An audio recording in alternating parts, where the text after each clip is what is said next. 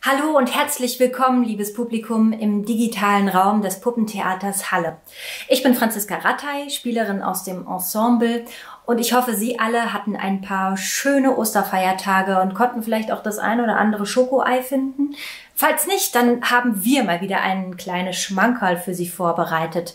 Ab kommenden Wochenende haben Sie wieder die Ge Gelegenheit, zwei Stücke kostenlos über unsere Website zu streamen. Eines für Kinder und eines für Erwachsene.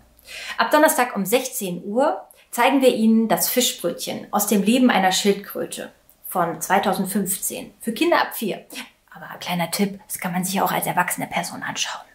Und äh, ab Donnerstag um 20 Uhr haben Sie die Gelegenheit, einen wahren Puppentheater-Klassiker zu sehen. Das Geheimnis des alten Waldes von 2003. Ja, beides mal wieder tolle Stücke.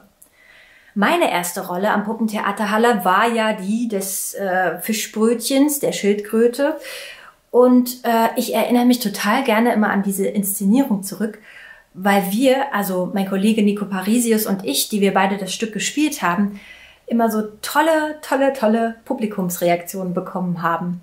Und das eine Mal, ich glaube, das werde ich auch nie vergessen, da hatten wir das Stück zu Ende gespielt und hatten sogar eine Zugabe gegeben. Es gab so feurigen Applaus dann sind wir irgendwann ab von der Bühne und die Kinder sind aber nicht nach Hause gegangen, nee, die blieben dann auch im Foyer und haben gewartet mit ihren Theaterkarten, weil die unbedingt Autogramme haben wollten vom Fischbrötchen und von Emma und den ganzen Charakteren, die da in dem Stück mitgespielt haben. Und oh, ich fand das so herrlich. Da ist wirklich, das war so ein Moment, wo mein Herz geschmolzen ist. ja, ich habe dann auch unterschrieben, aber also ich habe natürlich dann mit Fischbrötchen unterschrieben ich meine, wer kennt schon diese Puppenspielerin Franziska Rattay? Da muss man mit Fischbrötchen unterschreiben, natürlich. Ja, das war ja der, der, der Star des Abends.